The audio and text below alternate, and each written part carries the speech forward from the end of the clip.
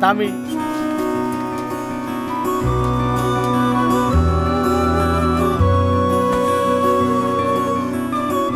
சுதந்திர கொடி பாட்டிய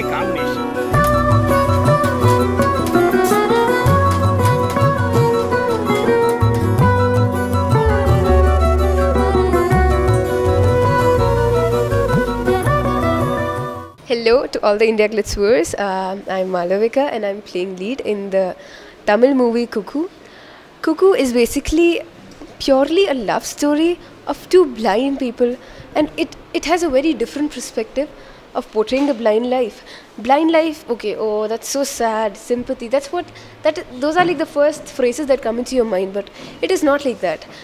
You know, uh, Cuckoo portrays a different perspective of the movie where they are very where uh, the movie portrays the cheerful part of it, the very happy, the happening part of the blind lives, and that is what made me sign up for the movie. And uh, talking about my character, my character's name is Swatantra Kodi, and she's pretty much confident, a bit egoistic, and she knows what she wants, and she's a you know, middle class Tamilian girl who aspires to be a teacher. Stepping into the Tamil industry, I thought, you know, it's all big wigs and glamour and this and that. You know, you need to have that headweight. But no, working with this crew, I realize I actually had some headweight inside me and they are so humble. I mean, everybody. From the director to the person who brings me water is so humble. They have no headweight. I mean, they're just so friendly with you and they give you your space. And it's not just about the humbleness, they're so talented. And I guess their talent is what makes them so humble. No, I am actually very, very happy that, you know, I am stepping into the Tamil industry with this movie because I'm playing blind. And in this movie, I have given my best and I, ha- I have been able to explore my levels. And I'm seriously happy that I'm stepping into this, uh, stepping into the Tamil industry with this movie. And further on, I hope to uh, do roles where I am being challenged to do it. Uh, basically, uh, my problem is, you know, after a very emotional scene, I take a bit of a time to get over to that happy mood of mine. And uh, once I remember, we were shooting a very emotional scene. We were done with that, and I had that headache of mine. And then we were all of a sudden shooting a romantic scene, and it was just me. And uh, it was the beginning of the movie where I was still very much skeptical about, uh, you know, me playing the role. So uh, yes, the way it came, and I mean, I thought the director might seriously get angry at me because I was just not getting it, and maybe I had this thing inside me that I won't get it that kept me that kept pulling me down. You know, it was not just letting me do, and then that said, okay, fine, just take a two minutes break. After that, we'll do it and I don't know, it was the eighth take or something that we got it right. And during the sixth take is when he said, okay, just take a break. And the break did definitely help me. And I don't know, everybody, nobody actually got angry at me. And I was shocked. I was like, okay, why aren't people getting angry? because that was the mindset I had inside me. Rumba emotional. It was uh, the climax, I would say, where I have to be, you know, happy and sad at the same time. I'm just so full of emotions, and uh, for that, you know, it doesn't come on take. It, it's not like, you know, they say action, you all of a sudden you start crying. No. For that, I had to build up my emotions. I had to think of the sad part of my life where I was very emotional, and then, you know, the happiness of getting something. So I had to prepare for that, and uh, well, yes, glycerin, we did use it. I wouldn't lie to you but uh, you know somewhere after that i actually had that headache and i felt very sad so i guess i did justice to that part that particular shot i did uh, i would not go for a commercial movie because i don't want to make it big in the industry. I just want to leave my sign in the industry where i do challenging roles. I do justice to what i do. And i would like to further go on with roles with a bit of a handicap where i am challenged where i have to explore my you know talents as an artist. Well i would uh, definitely love to act with danush because uh, i don't know there is this positive there is i guess he's just a very energetic person and it is seen in every character of his every character of his has this energy and i would like to i am not much of an energetic person all the time and working with him i guess i will improve my energy levels well uh, cuckoo is basically what my dad my chella pere what my dad my deceased dad he call he used to call me cuckoo So I guess, and it's not just that. It is the simpleness. It is the, you know, it is the poetic form of the word that made it its name. Yes, like I said, um, there was a workshop in the beginning of the movie where I interacted with a lot of blind people, female, male, my age, younger than my age, older than my age. And one thing was common in all of them. They had this smile on their face and they had this light on their eyes, though they can't see. They had this, this happiness for themselves. They were so happy with the way they are. It is not that, you know, this thing is forced on them. They simply accept it with the happiness and and you know that inspired me to accept the way I am. I shouldn't ask for more and be greedy. I should just simply be happy with the way I am. And uh, working with the blind, you know, it gives you an energy. They have so much of energy with them, and they just they just hit on with questions on everybody. And uh, you know, at times I feel inferior to them. So that's it, India Glitz for now. And after the movie releases, I would like to know how the audience reacts to it. And yes, we'll meet up again. Bye.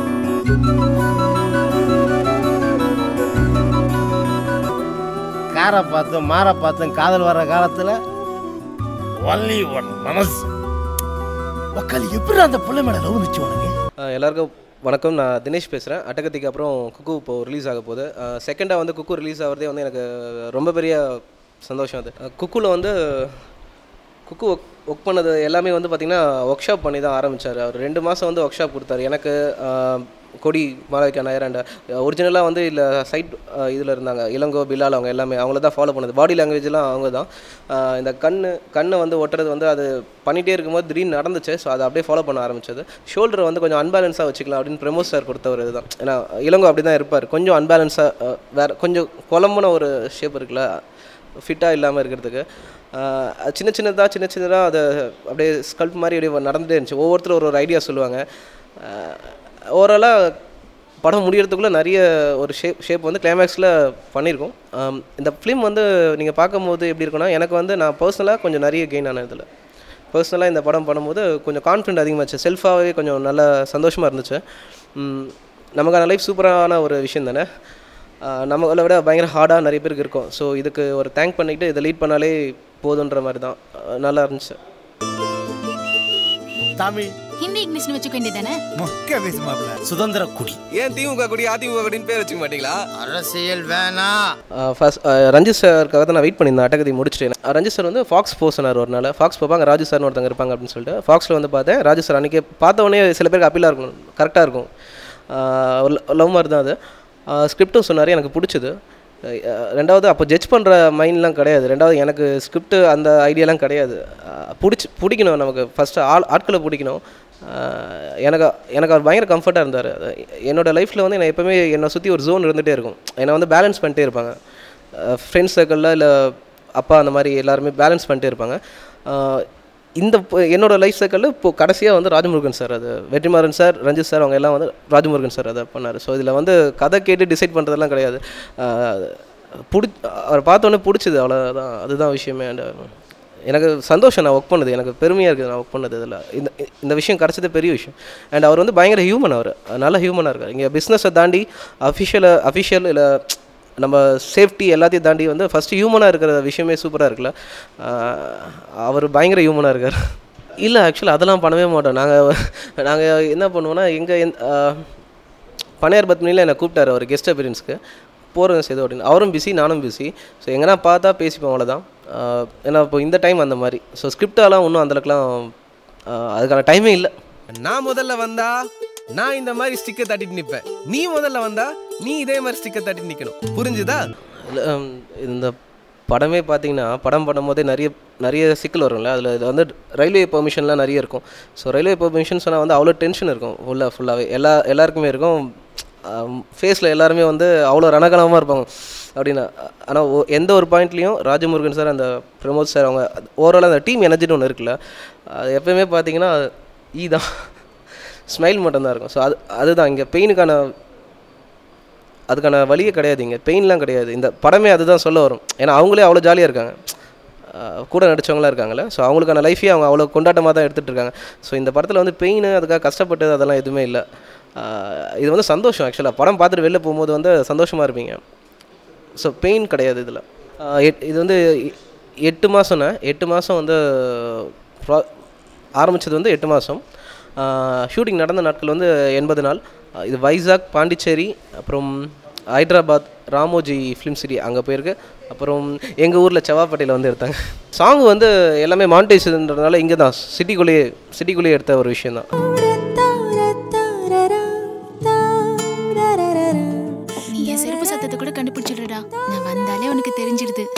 Power star மாதிரி. நீ ஒரு powder star மாப்ள. இல்லை எனக்கு வந்து நான் இந்த படத்துக்கு அப்புறம் நான் இந்த படத்தில் நான் அப்பயே முடிவு பண்ணதான் எனக்கு கம்ஃபர்ட்டான ஒரு ஸ்பேஸ் இருந்தால் போதும். ஒன் ஒரு ஒரு ஒரு ஒரு ஒர்க் முடிச்சுட்டு இன்னொரு ஒர்க் ஒரு ஒர்க் முடிச்சுட்டு இன்னொரு ஒர்க் அந்த மாதிரி இருந்தால் சூப்பராக இருக்கும். இந்த ரெகுலரான சில கமிட்மெண்ட்டில் மாட்டிட்டு அந்த இதில் ஐடியா இல்லை பட் ஆனால் ப்ராக்டிக்கலாக அது சாத்தியமும் இல்லை. ஏன்னா இப்போயே வந்து டேட் தள்ளி பண்ணதால் இருக்கிற கமிட்மெண்ட்டை வந்து முடிச்சு கொடுக்குற சுச்சுவேஷன் குக்கு கிளைமேக்ஸ் முடிஞ்சு அடுத்த நாள் வேறு ஒரு படத்துக்கு என்னை கூட்டும் ஸோ அதோட பாதிப்பு அந்த படத்தில் இருக்குது பயங்கரமாக அதனால் ஒரு நாள் ரீஷூட்லாம் போயிட்டுருக்காங்க இப்போ. எனக்கு வந்து ஒரு ப்ராஜெக்ட்டை அதை முடிச்சுட்டு அப்புறம் நான் ட்ராவல் பண்ணிட்டு திருப்பி ஒன்று ஒன்று பண்ணணும். எனக்கு அது அந்த மாதிரி நல்லா இருக்கணும். இந்த மாதிரி குக்கு அட்டகத்தி அந்த ஒரு ஃபீல் இருந்தால் சூப்பராக இருக்கும். இது பர்சனலாகவும் இருக்குது நல்லா இருக்குது அதுக்காக தான். நீங்கள் இந்தி சினிமாக்கெல்லாம் போவீங்களா? அந்த கேள்வி மாதிரி இருக்கு. ஒரு ரவுண்டு வரலாண்ணா அடுத்து வந்து வெற்றிமாறன் சாரோட ப்ராஜெக்ட்டு அவரோட படம். அதுக்கு முன்னாடி வந்து அவரோட டைரக்ஷனில் அதுக்கு முன்னாடி ரெண்டு படம் வந்து ரிலீஸ் ஆகும். தமிழுக்கு என் ஒன்றை எழுத்தவும் திருடன் போலீஸ் ரெண்டு படம் ரிலீஸ் ஆகும். படத்தை போய் பாருங்கள் நல்லாயிருக்கும் அன்பான இந்தியா கிளிப்ஸ் நேயர்களுக்கு நன்றி. நான் ராஜீவ் முருகன். குக்கு என்னுடைய முதல் படம். நான் ஆனந்தவுடன் பத்திரிகையில் ஏழு வருஷம் ஜேர்னலிஸ்ட்டாக இருந்திருக்கேன். விகடனில் எண்பத்தி ஏழு வாரங்கள் வந்த வட்டியும் முதலுங்கிற தொடரை எழுதியிருக்கேன். இயக்குனர் லிங்குசாமி சாட்ட பீமா பையாங்கிற ரெண்டு படங்கள் உதவி இயக்குனராக வேலை பார்த்துருக்கேன். இது என்னுடைய முதல் படம். குக்கு அப்படின்னா குயிலோட சவுண்டு. பார்வையில்லாத பார்வை இல்லாத மாற்றுத்திறனாளிகள் தமிழ் சுதந்திர கொடிங்கிற ரெண்டு பேருடைய காதலை பிரியத்தை பேசுகிற படம் இது. ஸோ அதனால தான் குக்குங்கிற டைட்டில் நிறைய சத்தங்களால் நிறைஞ்சிருக்கிறது தான் அவங்களோட உலகம். இல்லை குயிலோட சத்தங்கிறது காதலை குறிக்கிற ஒரு சொல். குயில் எங்கேருந்தோ சத்தம் போடும். அது நம்ம மனசில் ஒரு நிம்மதியையும் சந்தோஷத்தையும் உருவாக்கும். ஆனால் அந்த குயிலோட முகத்தை பார்க்க முடியாது. அப்படி ஒரு காதல் தான் இந்த படம். இதில் தமிழ் பாத்திரத்தில் தினேஷ் நடிச்சிருக்கான். அட்டகத்தி படத்துக்கு பிறகு அவன் நடிக்கிற படம். அந்த சாயல் துளியும் இல்லாமல் தமிழுங்கிற ஒரு கேரக்டராக அவன் இதில் இருக்கான். இதுக்காக ஒரு ஒன்றரை வருஷம் வேலை பார்த்துருக்கான். ரெண்டு மாதம் ஒர்க் ஷாப் பண்ணியிருக்கான். பார்வையில்லாத மாற்றுத்திறனாளிகளோட பழகி அவங்களோட வாழ்க்கையை உள்வாங்கி அப்படி தான் இந்த ஒரு நிறைய உழைப்பை கொட்டியிருக்கான். அதுக்கான பலன் நிச்சயமாக கிடைக்கும்னு நினைக்கிறேன். அப்புறம் மாளவிகாங்கிற பொண்ணு தான் சுதந்திர கொடியாக நடிச்சிருக்கு. வழக்கு எண் படத்துடைய மலையாள வெர்சன் பிளாக் பட்டர்ஃப்ளைல நடித்த பொண்ணு. அந்த பொண்ணும் ஒரு சுதந்திர கொடியாகவே மாறி அவங்களோட பழகி ஒர்க் ஷாப் பண்ணி நிறைய ஒர்க் பண்ணியிருக்கு. அவங்க ரெண்டு பேருக்குமான அங்கீகாரம் நிச்சயமாக கிடைக்கும் நான் நம்புகிறேன் இந்த படத்தோட இசை சந்தோஷ் நாராயணன் அட்டக்கத்தி பீஸா சூதுகவுக்கு அப்புறம் வேற ஒரு தளத்துக்கு எடுத்துகிட்டு போகிற ஒரு இசை. ஏன்னா இந்த படமே ஒரு மியூசிக்கல் ஃபிலிம் தான். தமிழ் உணர்ச்சிகளை பேசுகிற எமோஷனலாக காதலாக வரக்கூடிய ஒரு ஆல்பம் அவருக்கே இது நிச்சயமாக அடுத்த கட்டமான ஒரு ஆல்பமாக இருக்கும்னு நினைக்கிறேன். பிகே வர்மா கேமரா அட்டகத்தி பண்ண ஒரு ரொம்ப இயற்கையான இயல்பான அழகை பதிவு பண்ணியிருக்காரு. இந்த படத்துக்கு அவர் ஒரு முக்கியமான ஒரு பில்லர். அப்புறம் editor Shanmuga Melusamy art director தா ராமலிங்கம் பாடல்கள் யுகபாரதி அண்ணன். ரொம்ப இயல்பான வரிகள் ரொம்ப எளிமையான வரிகள். இந்த படத்தை ரொம்ப இந்த படத்தோட விஷயங்களை கதையை இன்னமும் அழுத்தமாக்குற மாதிரியான பாடல்களை கொடுத்துருக்குறாரு. இந்த படத்தில் இளங்கோ அப்படிங்கிற பார்வை இல்லாத மாற்றுத்திறனாளி. இந்த படம் முழுக்க ஒரு முக்கியமான பாத்திரத்தில் நடிச்சிருக்கான். இளங்கோவாகவே நடிச்சிருக்கான். அவனை வந்து ஒரு மாதவரத்தில் ஒரு பார்வையற்றவர்களுக்கான பயிற்சி வகுப்பில் சந்தித்தேன் அவன் பார்த்த உடனே அவன் பண்ணின அந்த நகைச்சுவை அவன் பண்ண காமெடி அதெல்லாம் ரொம்ப பிடிச்சி அவன் இந்த படம் ஃபுல்லாக நடிச்சிருக்கான். நந்தினி அப்படிங்கிற ஒரு பெண் பெங்களூரில் சேர்ந்த ஒரு பெண். அவள் வந்து இந்த படத்தில் படம் முழுக்க சங்கீதாங்கிற கேரக்டரில் நடிச்சிருக்கா. ரெண்டு பேருமே ரொம்ப அற்புதமான ஒரு ஒரு நடிப்பை வந்து கொடுத்துருக்காங்க. அதுக்கப்புறம் ஆடுகளம் முருகதாஸ் இந்த படத்தில் ஒரு நல்ல ரோல் நடிச்சிருக்காரு. அவர் மட்டும்தான் தெரிந்த முகம். மற்ற எல்லாருமே அந்தந்த பகுதிகளில் நாங்கள் பிடித்த நிஜமான பாத்திரங்கள். நிச்சயமாக அடிப்படையில் நான் வந்து ஒரு ரைட்டர் நான் டிஒஎஃப்ஐலேருந்து வந்தவன். இந்த பின்புலத்துலேருந்து வந்ததுனால எனக்கு சினிமா பண்ணணும் பணம் சம்பாதிக்கணும் அப்படிங்கிற ஐடியாலாம் இல்லை. நான் நினச்ச விஷயத்த மக்களோட கம்யூனிகேட் பண்ணணும் அப்படிங்கிறது தான். அதனால் இதில் ஒன்றும் ஆச்சரியப்படுறதுக்கு இல்லை. இப்படியான ஒரு பின்புலத்துலேருந்து வந்தவன் இந்த மாதிரியான ஒரு படம் இந்த மாதிரியான விஷயங்களை தான் எடுப்பான்னு நினைக்கிறேன். இல்லை ஏழு வருடங்களுக்கு முன்னாடி விகடனில் நான் இருந்தப்போ நான் கேட்ட ஒரு உண்மை கதை தான் இந்த கதை. அதுக்கப்புறம் இந்த படத்தை முதல் படமாக பண்ணக்கூடியதில் நிறைய பிரச்சனைகள் இருக்குது நிச்சயமாக இதை ஒன்லைனாக கேட்டால் நிச்சயமாக பணம் போடுறவங்க பயப்படுறவாங்க அப்படியான ஒரு விஷயம் தான். ஆனால் முழுக்க ஒரு ஸ்கிரிப்டாக கேட்டால் இதோடைய சுவாரஸ்யம் மக்களுக்கான ஒரு படம்னு தெரியும். அப்படி வந்து இந்த கதையை வந்து ஆரம்பத்தில் சொல்லலான்னு ட்ரை பண்ணி அதுக்கப்புறம் முடியாமல் சரி இது முதல் படமாக பண்ண முடியாதோ அப்படிங்கிற நேரத்தில் இருந்தப்போ தான் சங்கர் சார்கிட்ட ஒரு ஒரு வாய்ப்பு கிடச்சிது ஸ்கிரிப்ட் சொல்கிறதுக்கு அப்போ அவர் தான் இந்த ஸ்கிரிப்டை கேட்டு ரொம்ப என்கரேஜ் பண்ணி நம்பிக்கையை விதைச்சது. அவர் சொன்ன பிறகு தான் ஃபாக்ஸ் ஸ்டார் ஸ்டுடியோஸில் வந்து இந்த கதையை சொல்லி the next big film Mahendra sir Shanmugam sir இவங்கள்ட்ட சொல்லி இதுக்கு ஒரு உருவம் கிடச்சிது. அவங்க தான் இது வந்து இன்றைக்கி இப்படி ஒரு நல்ல ஒரு ப்ராடக்டாக உருவாகிறதுக்கு காரணம். நிச்சயமாக கமர்ஷியல் ஆர்ட் அப்படின்லாம் ஒன்று தனித்தனியாக கிடையாது. அதான் என்னுடைய பாயிண்ட்டு இங்கே என்னென்னா நம்ம நினச்ச விஷயத்த மக்களுக்கு பிடிச்ச மாதிரி சொல்லிவிட்டு அதுதான் விஷயம். ஸோ அதுக்கு வந்து நம்ம மக்களோட இருக்கணும் அவங்களோட பழகணும் அதுவே போதும். அப்புறம் மற்றபடி அதை வந்து கமர்ஷியல் அது இதுன்னெலாம் பிரிக்க தேவையில்லைன்னு நான் நினைக்கிறேன். இந்த படமும் அந்த மாதிரி தான். இது வந்து இதை ஒரு மக்களுக்கு பிடிச்சமான ஒரு சினிமாவாக ஒரு கலையாக மாற்றணும் அப்படிங்கிறதுக்காக தான் நிறைய வேலை பார்த்தோம். அதுதான் முக்கியமான விஷயமா தோணுது. இல்லை அடிப்படை காதல் தான். சம்பவங்கள் நிறையா இருக்குது வேறு வேறு பாத்திரங்கள்லாம் வருவாங்க. நிறைய நிறைய விஷயங்கள் பேசுவாங்க. ஆனால் அடிப்படை காதல் தான். ஏன்னா காதலுங்கிறது நீங்கள் காதலை வந்து அது அழுத்து போச்சுன்னோ அல்லது அதுக்கு அது எதுவுமே சொல்ல முடியாது. இந்த உலகம் இருக்கிற வரைக்குமே அன்போ பிரியமோ காதலோ இருக்க தானே செய்யும். அது அவங்கவுங்களுக்கு தோன்ற விஷயத்தில் சொல்கிறாங்க அது எனக்கு தோன்ற ஒரு விஷயத்தில் நான் பார்த்த ஒரு உண்மையை அடிப்படையாக வச்சு இதை சொல்லியிருக்கேன். இல்லை இந்த படம் முடிஞ்சிருச்சு. குக்கு முடிஞ்சிருச்சு. இதை வந்து சம்மரில் ரிலீஸ் பண்ணுறதுக்கான வேலைகள் வேகமாக நடந்துகிட்ருக்கு கூடிய சீக்கிரமே திரையில் நீங்கள் பார்க்கலாம். அடுத்த படம் பற்றிலாம் இன்னும் பிளான் பண்ணல. ஏன்னா கதைகள் நிறைய கதைகள் இருக்குது விஷயங்கள் நிறையா இருக்குது பட் இந்த படத்தை சரியாக மக்கள்கிட்ட கொண்டு போய் சேர்க்கணும் இந்த வேலைகள்லாம் இருக்குது ஸோ அதை முடிஞ்சிட்டு நம்ம அது திட்டமிடலான்னு இருக்கேன். எதுவுமே திட்டமிட்டெல்லாம் ஒன்றும் பண்ணுறதில்ல அது கரெக்டாக தோணும்போது அமையும். கொடி வெயிட் பண்ணுது சார் சார்